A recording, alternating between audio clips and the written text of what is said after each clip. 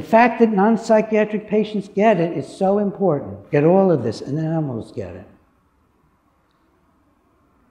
Now, here is a textbook. I'll show you it.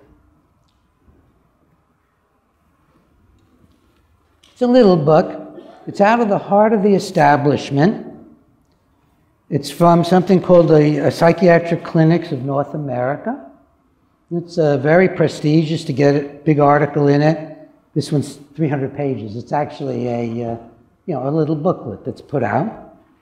It appears first as a journal and then as a hardcover. Now, this is not written by psychiatrists. It's written by people who actually have to face some of this stuff. It's written by an emergency room doctor and a neurologist. And every group of psychiatric drugs is discussed in this as a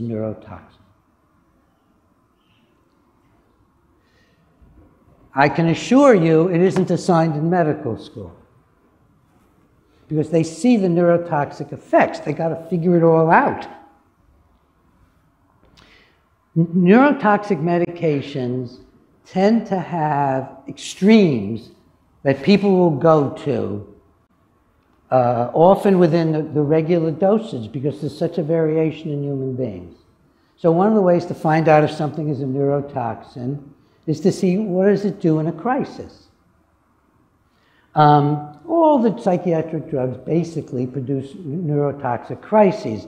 I don't deal with the amphetamines that we give to children, methylphenidate, so I'll mention that. Every amphetamine full prescribing information says that even at normal or low doses, patients can get a stimulant crisis on these drugs and they can be lethal, and the heart rate goes up, and you sweat, and you get uh, hyperactive, and your neurological reflexes start jumping, and your brain gets overjazzed, and, and to death. And they are clear. They say in all of them that it can be on normal doses. That's the amphetamine extreme neurotoxicity uh, position. So and remember this other thing. By the way, you now know more truth about psychiatric drugs than any psychiatrist you're ever likely to meet. What do you think of that? They don't hear the basics because the basics are devastating, and some of the basics I'm going to get to would actually uh, put them on trial, the whole profession in many ways, for what it's done in the past and, and today and in the future. My profession that I so lovingly wanted to be a part of and am. So, remember, I told you that when you do damage, the outcomes are pretty much the same. So, a lot of the drugs have warnings like this. And this, in the book I just showed you, there's a section on neurotoxic medication crises. And, and they actually make it a general observation and if you go and look up any one of the psychiatric drugs, probably in overdose at least, some of them may not, some of the weaker ones, but all the major classes. If you go and look, you're going to find some of this that, that, that, that typical of neurotoxic medication crises in general, in particular for psychiatric drugs like any potent neurotoxin, actually, this is not out of the book. I might be confused. Nope, this is me. I'll get to the book, and, or if I haven't got it, I'll look it up. Any psychiatric drugs cause extreme neurotoxic crises. They can be lethal and so on and so forth. So let me see what I got next. The serotonin syndrome is the acute neurotoxic crisis that you can get from any drug that's jacking up serotonin, which is most of the um, antidepressants, but not just the so-called SSRIs that are in the Paxil, Celexa, Lexapro class, but um, Wellbutrin and other other drugs that have stimulating profiles.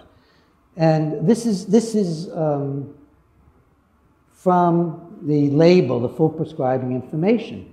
Serotonin syndromes may include mental status changes, e.g., agitation, hallucinations, delirium, and coma, autonomic instability, tachycardia, that's fast heart rate, labile blood pressure, uh, dizziness, diaphoresis or sweating, flushing, hyperthermia, fever, neuromuscular symptoms, tremor, rigidity, myoclonus, which is a body twitching, hyperreflexia, incoordination, seizures, and or, because now we go, serotonin's in your gut, serotonin's in your bloodstream.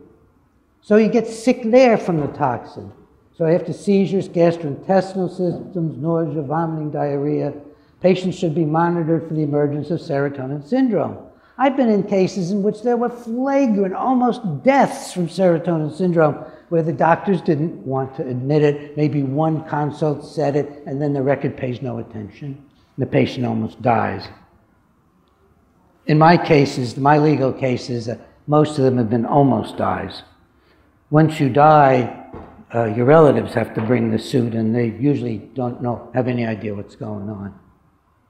Now, a concept I developed, you'll find the, my papers on 123 antidepressants.com and other places on my website, that psychiatric drugs uh, hide their harmful effects. Well, this is obvious. I'm the first person to ever talk about this as a concept. Yet everybody knows that this is what neurotoxic drugs do. People who take marijuana, have you ever gone to a party where somebody's smoking dope and you're not? You know, the, the, they're not saying profound things. And the jokes are not funny. It takes a little brain damage to laugh at them, and the cookies probably don't taste very good either. And you go to a party where the alcoholic who's intoxicated, it's another kind of intoxication. It's all about brain poisoning. It, it can come from many sources. The intoxicated person thinks he's the life of the party, and people are actually leaving. I once obeyed these ads that say drunk friends don't let drunk friends drive, you know. And I, I, being that I love the world, I expanded that concept. So I was walking along with a friend of mine who's a diminutive woman, but strong, good friend, lawyer. And we see this woman who is trying to get her car keys in the door. She's so drunk, she's just come out of the bar. It was very near my home, which gave me a, an unrealistic feeling of security. Um, and she can't get the keys in, she's dropping them. So we both walk up, and we are not frightening looking people. I mean, I'm, i never wear a suit ever except in court or giving my first speech to a new audience. And um, we go up and we say, you know, we're not sure you can drive. Uh, do you have any friends? And all of a sudden, her five drunk male friends showed up and wanted to beat the daylights out of us. All right, so we know that drinking impairs the frontal lobes, marijuana impairs the frontal lobes, makes people unable to judge. Cocaine does it. This is why, even smoking to some extent, this is why people can go, oh, and even I think caffeine to some extent, can impair your appreciation of what, what the drug may be doing to you but grossly with these much more potent drugs than, than, than nicotine and caffeine. And so people don't know what's happening to them, and that's why your loved one is walking around like this and, and is unable to function on her antipsychotic drugs, and she doesn't understand it. Her frontal lobes have been injured. That's what allows all this to go on, and it's why some of us get addicted and don't know what's happening to us, and it has to be our wives or children who say, Mom, Mom, you're, you're addicted. The doctor's drugs, if they're smart, have addicted you, the benzos or the stimulants, because we're always the last to know. And I've had the experience myself. Um, I struggle with a lot of allergies, as you know from my little introduction, and I used to take Benadryl sometimes. I would get up in the morning after taking a Benadryl the night before, and I would be grumpy with my wife, whom I love with all my heart. And she'd say, honey, you're being grumpy. I'd say, no, I'm not. You blah, blah, blah, blah, blah, you know. She'd say, oh, God, you took that, you took that darn thing last night again that anti, not an anti, antihistamine, which, by the way, the antipsychotics are derived from antihistamine. So I may get a chance to tell you that story. So I would get grumpy at my wife and not blame myself psychologically for being grumpy, which a man should do when he's grumpy at his wife. He should own it and apologize and try to be loving and work things out. wife should do the same thing. And I did, never entered my mind it was the Benadryl. And I tried it once more because I don't, you know, I don't want to let Ginger tell me what to do. So I got, I, I, I got a little agitated and grumpy again. Um, again, I've already talked about this that you discover a psychiatric drug by finding its neurotoxic effects on animals. Oh, I love the asides. Eli Lilly published a paper years before they um, applied for the Prozac and went through the experimentation. And they weren't thinking ahead. These, you know, some of these researchers, they just want to publish. They weren't thinking ahead. And they published an article, and you'll find it under the animal section um, in, uh, in 123 antidepressants. And they say, as a one or two paragraphs, uh, our cats who've been through many experiments and were easy to handle and, you know, really liked us, on this drug became very irritable and unmanageable. They got angry, they hissed. And they say, and it lasted sometimes for a period after the drug was withdrawn. Well, I should have told them right away. People are going to get violent on this. Very likely. They hid it. I found it as a part of that you know, huge work I was doing. Well, now we get into the, the really tough stuff. I'm very dry. Um, drink a little water. Does my voice sound okay? Good. I apologize if I st start wiping my dry lips.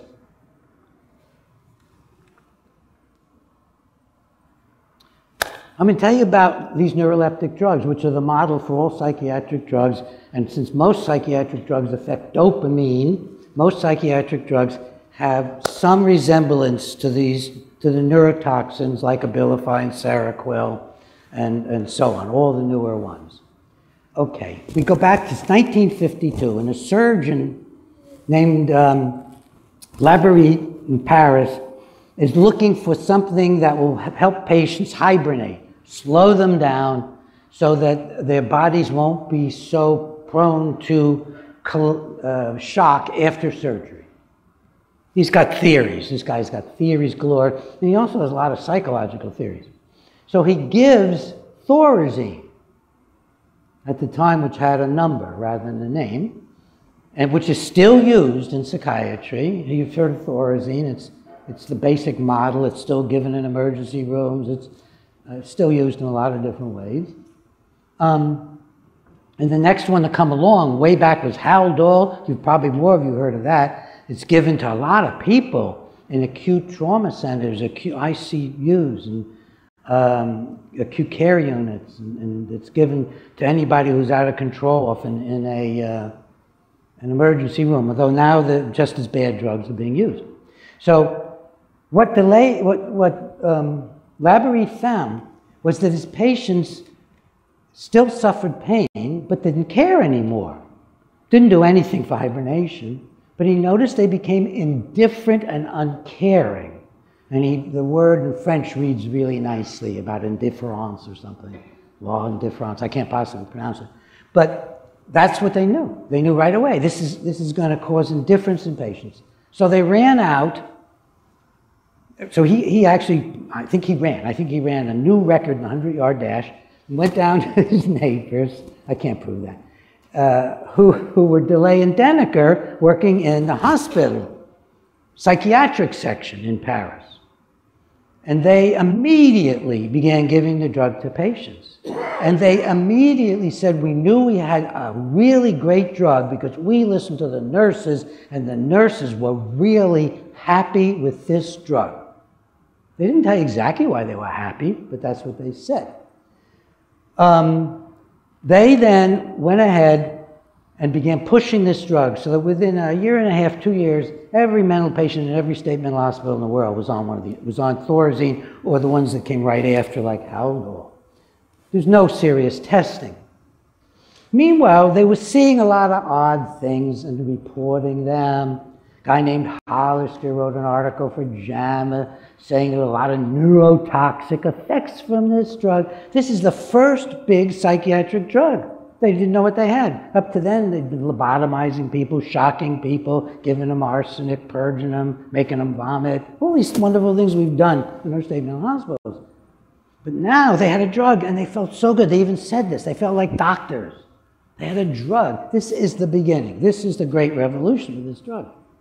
So they began to notice that these patients, almost all of them women, got hysterical symptoms. This is probably it. It's just women. They twitch, they'd grimace. They actually noticed this. Hollister actually wrote all about it and said, I think this is neurotoxic. Nobody paid any attention because they were women, and most of them old. I was walking with my mother in law one day, and uh, we were joking about my, my leading her to the bathroom, one old guy leading the slightly older lady to the bathroom. I'm, there's a 15 year difference between me and Ginger, and a 10 year difference between me and mom. And I said, and, and mom said, you know, I mean, what are people going to think, you know, about you leading me to the bathroom? I said, honey, you know, people don't notice anything but themselves mostly. And she said, and old people, we're invisible. All right. Sorry.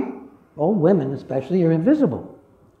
So then They've published all their papers. There's a few, they're all, they're big conferences. There's been maybe two talking about neurotoxicity. And they get a phone call, maybe, they don't tell us what the communication was from the drug company.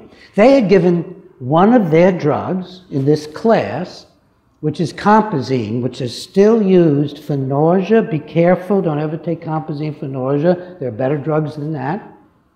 Uh, all these drugs stop, block the nausea center because it's dopamine control. So they get a phone, they get this communication. They've given it to soldiers to stop their nausea when they are on boats. And even in that short period of time, they're seeing these dramatic arrays of grimacing and spasming and distortions and leg movements and just all these strange arrays.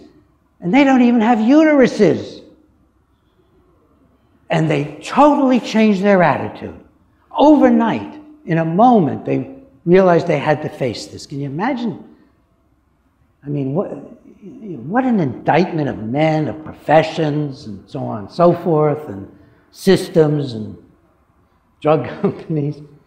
So it dawns on one of them, I think Deniker, because he's very proud of it. He says, I've seen this. One of them says, I've seen this. We've seen all of this in an epidemic that killed a lot of people, afflicted millions toward the end of the flu in World War I and into the 20s. There were big conferences about it because just like the antipsychotic drugs, in what is called tardive dyskinesia, just like them, they produced every known motor abnormality. So neurologists wrote books. I've read them. They wrote, they had conferences all about this array of abnormalities and the indifference that goes with it. And they thought, this sounds just like the drug. So he ran back and he looked and he came back and he wrote. He wrote. There's no way to tell a difference between the effects of the drug and the effects of lethargic encephalitis. Now, if you realized that and you were a person of conscience, what would you do? What do you think they did? They called the company and said, This is amazing. Give us your worst drug.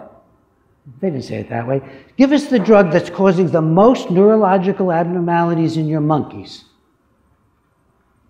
And they got it and they tortured women patients, taking them through the stages with increasing doses. They published it. This is on my website too, under Deniker and Delay's publications. Torture. published it and commented on the similarity to lethargic encephalitis, and wasn't this amazing and wonderful, basically? They put in, but we don't think it'll be permanent. Well, everything in lethargic encephalitis was permanent, and it's all permanent. It all can be permanent. Tardive dyskinesia afflicts normal people like you in the audience who are physically normal. You get the drugs for one reason or another. 5 to 8% of people cumulative per year. At three years, you've got 15 to 24% chance of getting all or some of the array of lethargic encephalitis. Now, good old Deniker, by the way, he wrote his heart out. Nobody paid much attention, and the profession didn't want to hear this, but he wrote his heart out and they had to publish him. He's a great hero. He just kept writing about all this. Finally, he admitted it was permanent. You couldn't tell the difference. And at one point, he wrote, "We could have, we could have thought in the beginning. He doesn't tell us whether they did. We could have thought in the beginning that we could have created an epidemic of lethargic encephalitis with these drugs, and now we know we did." And then toward the end, he said, We know these drugs have their drawbacks, he said, but I'm so proud of this connection between lethargic encephalitis and um, the drugs. Is that mind blowing? Um, I don't know what I did with my clipper, flipper. I can never name that thing that we use, the remote. It's like a remote. Um, well, Cade discovers lithium.